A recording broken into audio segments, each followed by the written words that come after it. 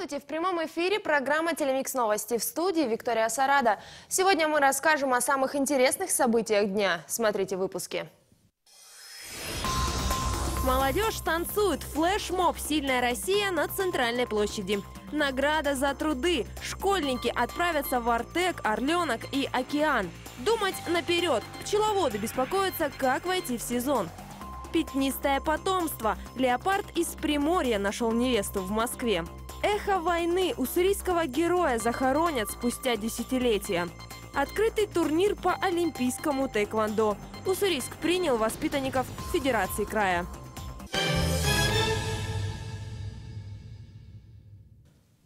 Долгие выходные в Уссурийске выдались снежными, как и на всей части края. Во Владивостоке осадки привели к транспортному коллапсу со множеством заторов и аварий. В нашем городе, пока жители отдыхали, на улицах вовсю трудились муниципальные службы, чистили трассы и тротуары. Съемочная группа «Телемикса» узнала у пешеходов и автомобилистов, как они оценивают обстановку на дорогах. Ну, намного лучше, что, чем в Владивостоке. Вот в Владивостоке лежала зимой, там вообще не чистят. Тут у нас служба лучше работает. На 30 минут там, если не на 2. Тут просто не чистили, да и все. А вы по каким районам ездили? Да, в принципе, так же вот. Некра... Ну, Некрасова, в принципе, нет, как бы. Ленина, Краснознаменная. По сравнению с, вот, с прошлым годом, я считаю, что как-то более активно все. Ну, видимо, не хватает людей. Так вот, чтобы где-то лопатами почистить. Техника работает. Так что, в Видели, да? принципе, да, видела, видела. Даже малая техника на тротуарах. Вы знаете, у нас не было коллапса, чистили нормально. С утра ну, были и почищены тротуары. Видела сама, как маленькие такие трактора ездили. Нормально очистили, в принципе, не было проблем. Единственное, что лед местами остался, подскальзываешься. Это уже где тротуары. А так, в принципе, чисто. Работа на улицах города началась еще в день выпадения осадков и длится до сих пор. Сейчас коммунальные службы вывозят накопившийся снег и приводят в порядок обочины дорог.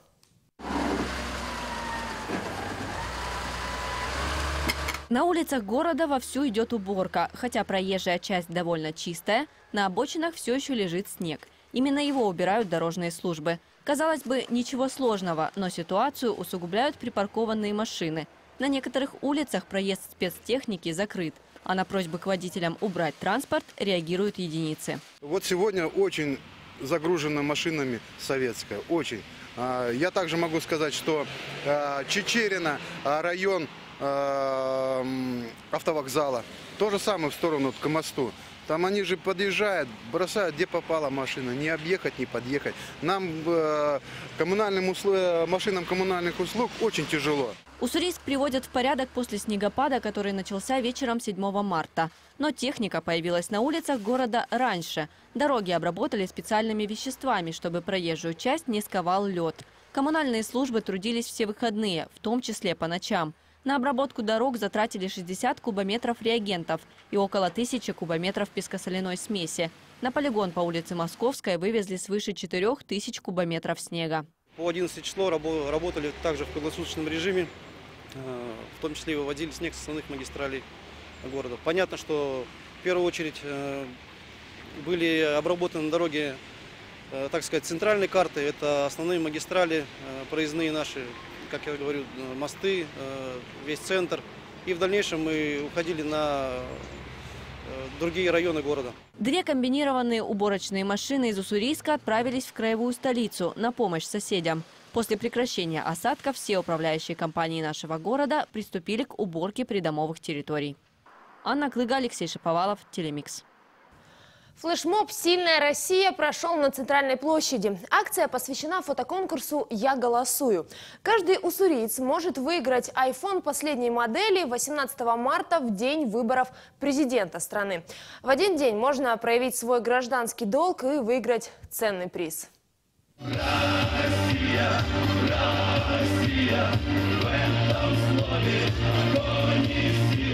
Студенты Уссурийска танцуют на площади. Массовый флешмоб молодежь провела в преддверии важного для страны события – выборов президента. В руках рамки для фотоконкурса. Именно с ними нужно будет сфотографироваться 18 марта, чтобы стать участником розыгрыша пяти айфонов. Сейчас активно развито продвижение в сети Инстаграм и Контакт.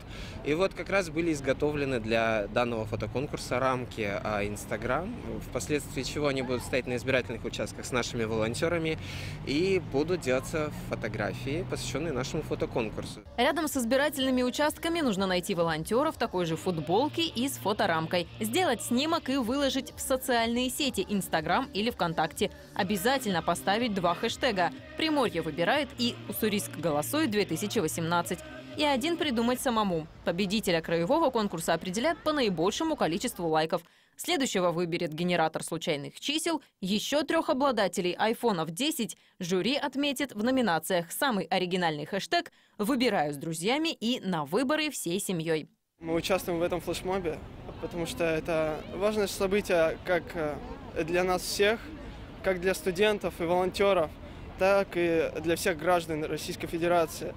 Ведь э, мы сами выбираем, э, мы сами делаем свою страну. Мы решили показать, что молодежь Уссурийска, она с активной жизненной позицией, и что мы хотим э, выбрать нашего президента сами. Организатор конкурса «Благотворительный фонд «Сохрани жизнь». Главные задачи проекта – привлечь внимание молодежи к социально важным событиям страны и развить творческие навыки. Выложить снимки нужно 18 или 19 марта. Автоматически фотографии появятся на сайте приморьевыбирает.рф. Победителей назовут 26 марта. Конкурсные снимки плохого качества, неэтичные или с признаками агитации и изображениями кандидатов к участию не допустят.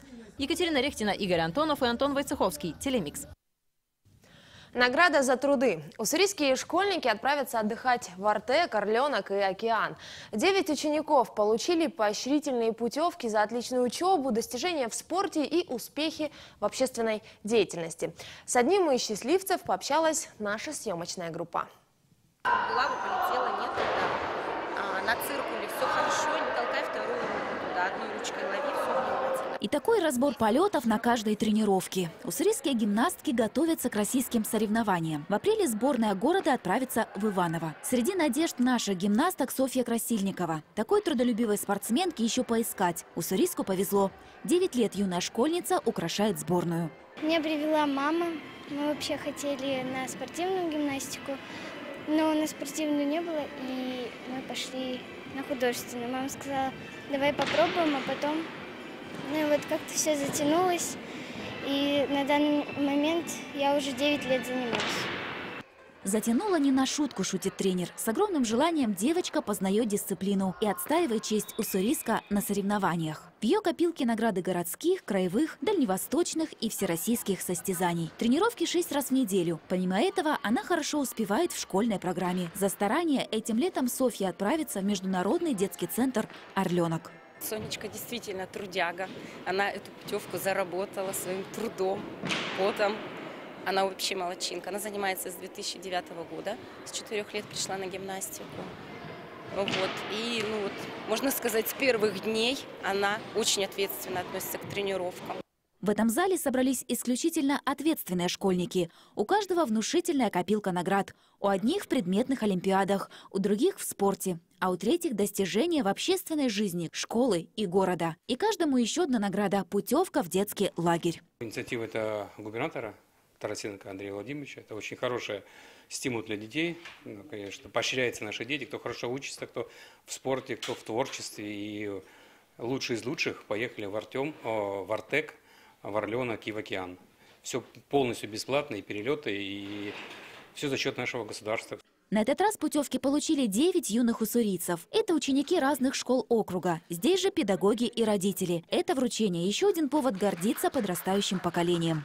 Все родители присоединятся к моим словам. Хочется выразить слова благодарности за уникальную возможность нашим детям своим умом, трудом, своими талантами получить такую награду и представлять наш регион в лучших детских российских центрах. Это первые бесплатные путевки. Инициатива губернатора будет продолжена и дальше. Уже в ближайшие дни несколько уссурийских школьников отправятся отдыхать. Остальные посетят детские центры этим летом. Ольга Муравьева, Алексей Шаповалов, Телемикс. Пчеловоды округа готовятся к новому сезону. Скоро наступит пора выставлять улей на пасеки. Думать об этом и о сборе меда необходимо уже сейчас. Большая проблема для современных фермеров – сбыт продукции. Эти и другие важные вопросы пчеловоды обсудили на большой встрече. Как войти в сезон и куда сбывать мед? Вопросы, которые волнуют всех пчеловодов округа и края. Сейчас в Приморье более 70 тысяч пчелосемей. Ежегодно в крае они производят до 5,5 тысяч тонн меда. Такое производство держится на одном уровне уже почти 5 лет. Задача Приморского края стоит сегодня расширить рынок сбыта продукции пчеловодства. Это и, и не только мед, это и продукты побочные пчеловодства. Вся эта продукция на рынке востребована. В последнее время падают продажи за рубеж. Если три года назад за границу отправляли 2000 тонн меда, то в прошлом в четыре раза меньше. Сейчас Россия занимает лишь восьмое место в реализации меда. Первый – Китай. Даже Мексика впереди нас, отмечают специалисты. Для местных пчеловодов хорошее подспорье для реализации сельскохозяйственные ярмарки. Цветочный мед у нас местный, села Степного, а липу ездим под Арсению. Тайгу заезжаем далеко. Пчелопродукция вся считается э, лечебной, да. Э, поэтому просто сотовый мед э, более как бы считается качественный. Проблемный вопрос последних лет – вырубка липы. В Приморье существуют так называемые зоны покоя, где промышленная вырубка этого растения запрещена. Пчеловоды негодуют, почему в районах некоторых пасек деревья все-таки убирают. Решение есть. Есть возможность выделения э, в, в азот, так особо защитный участок, там, где рубка промышленная не допускается. А, вам, как пчеловодам, необходимо оформлять свои точки. Специалисты отмечают, что в пчеловодстве Приморье значительно уступает другим регионам. Например, Башкирии, где существует мощная ассоциация «Союз пчеловодов». Именно этого и не хватает нам, и к этому нужно стремиться. Пришли к выводу производители меда. Екатерина Рехтина, Игорь Антонов, Телемикс. Леопард из Приморья нашел невесту в Москве. В столичном зоопарке ждут появления уникального потомства. Как сообщили сотрудники национального парка «Земля леопарда», в 2015-м пограничники нашли котенка, который попал в браконьерский капкан. Малыш лишился трех пальцев, но ветеринары спасли найденыша от гибели. Позже подопечного назвали Николай. Специалисты готовили его к возвращению в дикую природу, но травмы дали о себе знать. Леопард больше не смог находиться находиться на воле. Пятнистого хищника передали в московский зоопарк, где действует программа размножения дальневосточных леопардов. В питомнике Николая свели с его первой невестой, самкой по имени Акра. Свадьба прошла успешно, а теперь счастливая семья ждет прибавления. Специалисты отмечают, что случай уникален. Николай стал первым за последние 60 лет дальневосточным леопардом, которого переместили из Приморской тайги в зоопарк. Он должен стать основателем новой генетической линии леопардов в неволе, которые являются резервной популяцией самой редкой крупной кошки на планете. Возможно, в будущем его потомки смогут вернуться на родину. Впереди короткая реклама. Оставайтесь с нами. Эхо войны уссурийского героя захоронят спустя десятилетия. Открытый турнир по олимпийскому тэквондо. Уссурийск принял воспитанников Федерации края.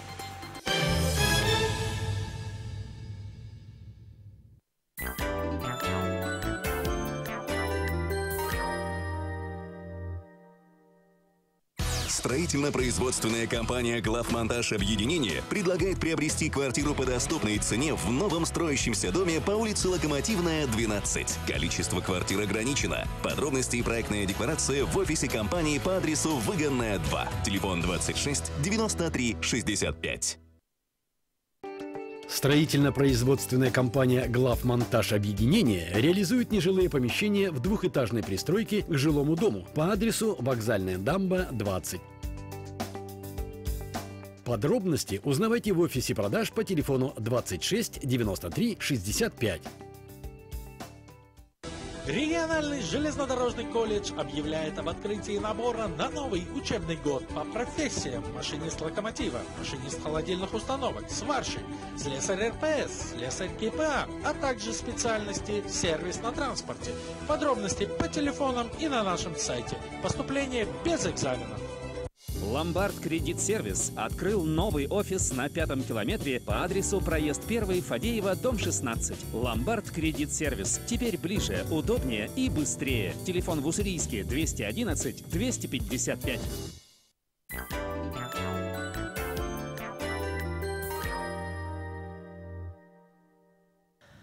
Смотрите итоговый выпуск программы «Телемикс новости». Продолжаем. Новое жилье взамен аварийному. По закону нанимателям и собственникам квартир в случае сноса дома предоставляются квадратные метры взамен. А вот на какие площади могут рассчитывать квартиранты? Ответ смотрите далее.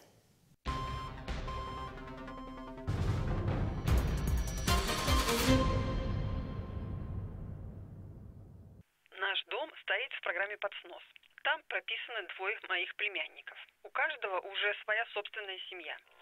Подскажите, по закону нам положены отдельные квартиры? И вообще, как идет распределение жилья в таких случаях? Вообще жилищный кодекс предусматривает право граждан, занимающих жилое помещение по договору соцнайма, в случае признания его непригодным для проживания, предоставление другого жилого помещения по договору соцнайма. Если аварийное жилье принадлежит жильцам на праве собственности, ну, допустим, было ранее приватизировано, то по соглашению с ними им может быть предоставлено взамен изымаемого жилого помещения другое жилье. И, как правило, муниципалитет заключает с собственниками аварийной квартиры договор мены. Если же ваша квартира не в собственности, а племянники просто зарегистрированы, то вам должна быть предоставлена благоустроенная квартира в границах города, отвечающая санитарным требованиям. Квартира предоставляется равнозначная по площади и состоящая из того же числа комнат, что и ранее занимаемая. При этом количество зарегистрированных лиц не влияет на площадь новой квартиры. Также законом не предусмотрено предоставление отдельных квартир. И только в исключительных случаях жилье может быть предоставлено по нормам предоставления только в тех случаях, если жильцы состоят на учете как нуждающиеся в жилье. Эхо войны. В Волгоградской области найдены останки нашего земляка Константина Метляева.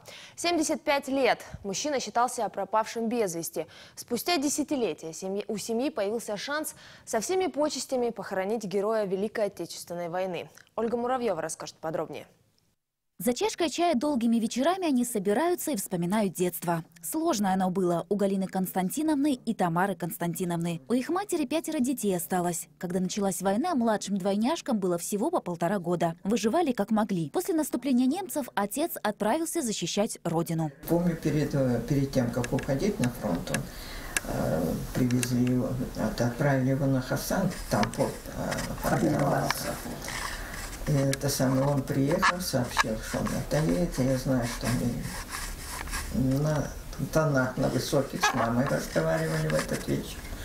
Потому что его так-то вроде не направляли, а он сам напросился. Это последнее воспоминание об отце, Метляеве Константине Михайловиче. Он всегда был добрым и заботливым, приносил конфеты и игрушки. Из рассказов мамы дети знают, что он воевал за Сталинград. Была переписка с семьей, но в 42-м связь оборвалась. В памяти детей отец навсегда остался, как на этой черно-белой фотографии.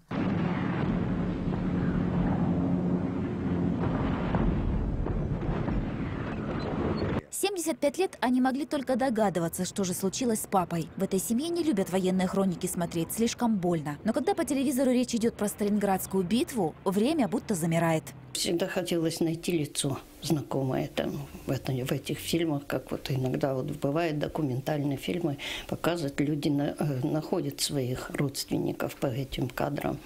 Вот, поэтому всегда смотрели и всегда хотелось, хотелось увидеть что-то.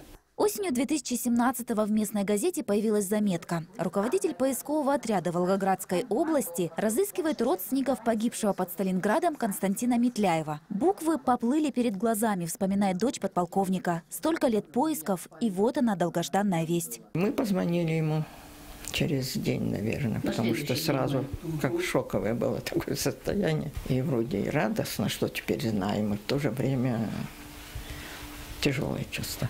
Несколько погибших удалось отыскать на месте сталинградских сражений. Тела их будут захоронены со всеми почестями. Осталось дело за малым – найти средства и полететь на похороны отца. Для пенсионерок это оказалось непосильным. Они обращались в общественные организации, к депутатам, меценатам, но везде получали отказ. Поиск средств на перелет привел в приемную главе администрации округа. Вашему отцу спасибо, что мы сейчас живы, здоровы и с вами разговариваем. Да, 75 лет прошло. Хорошо, что мы не забываем своих героев, находим их и придаем земле, чтобы они нормально упокоились.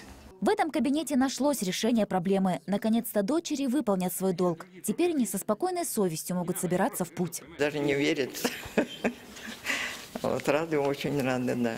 Теперь спокойно можем собираться. Когда планируете лететь? Мы лететь планируем 1 или 2 мая. Там захоронение будет э, от 4 до 6 в этот период. В местах таких массовых сражений продолжаются поиски пропавших без вести отцов, дедов и прадедов. Вера этой семьи показывает, стоит надеяться и не опускать руки, чтобы однажды пропавший без вести в Великую Отечественную был найден. Ольга Муравьева, Антон Войцеховский и Алексей Шаповалов. Телемикс. Открытый турнир по олимпийскому тэквондо прошел в Уссурийске. В наш город приехали воспитанники всех федераций края, малыши и взрослые. На Даянках сражались бойцы из девяти городов и сел Приморья. 350 участников собрал открытый турнир Уссурийска по тейквондо ВТФ. Самое большое количество спортсменов привез Владивосток, краевой лидер в этом виде спорта. Хотя прежде именно наш город был центром развития южнокорейского стиля тейквондо. Конечно же, планку держит э, в первую очередь это Владивосток. Э, Мы не можем численно их победить. Просто Владивосток это столица, там занимающихся, э, количество занимающихся очень большое, они просто давят количество. Все поединки оценивались с помощью электронной системы, которая исключает человеческий фактор в оценке действий соперников. Удары считывает жилет, рефери лишь помогают компьютеру.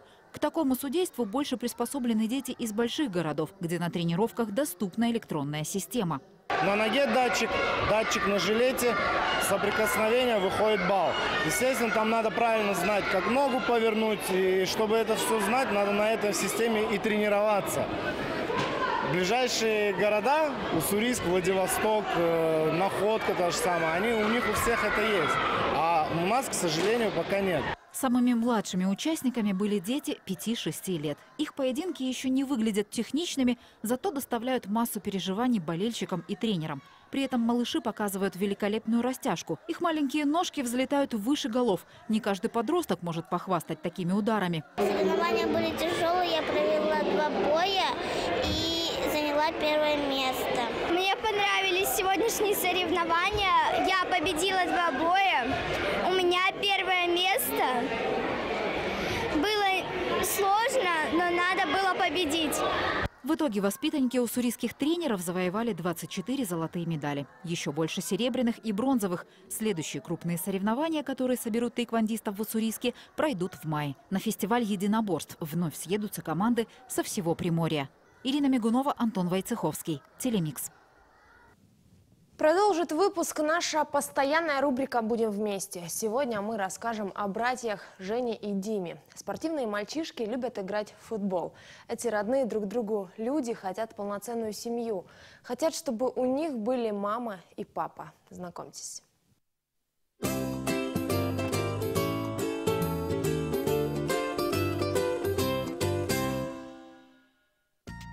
Рубрика «Будем вместе» создана при поддержке разреза управления «Новошахтинская» компании «СУЭК».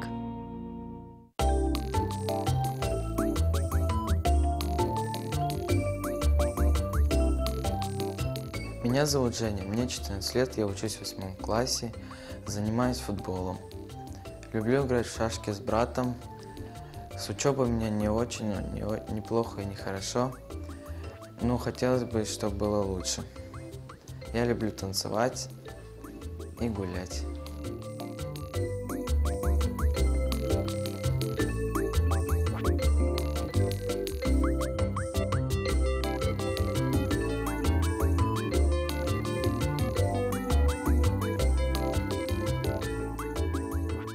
зовут Дима, мне 12 лет. Я люблю играть в футбол, играть с братом в шахматы. Я учусь в пятом классе. Учебой у меня не очень хорошо, но стараюсь, чтобы было, были пятерки.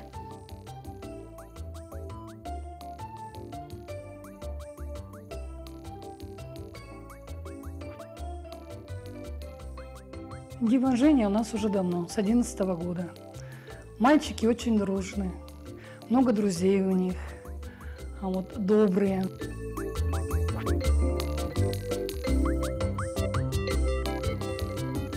Занимаются спортом, очень сильно увлекаются футболом.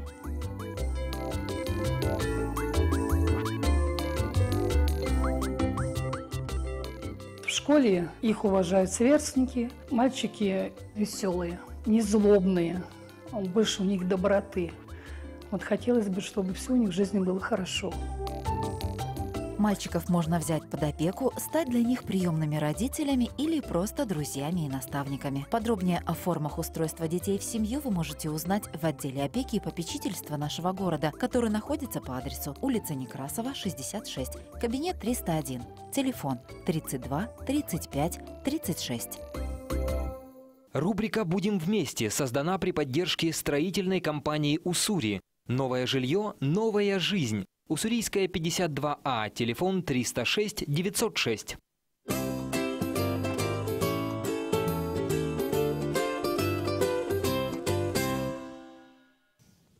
На этом пока все. Сюжеты вы также можете увидеть и на нашем сайте telemix.tv. В студии работала Виктория Сарада. До встречи на нашем канале.